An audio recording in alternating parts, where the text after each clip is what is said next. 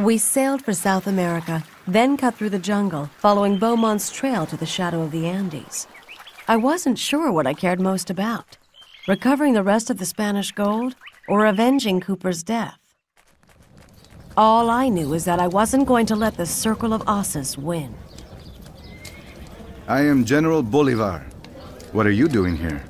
Are you with the Spanish? No. We're chasing a Frenchman, Beaumont. He's looking for the old Inca lands. I know this place. You'll never get past the Spanish. But together we may be able to organize an assault. Help us rid ourselves of the Spanish, and I will help you find your Frenchman.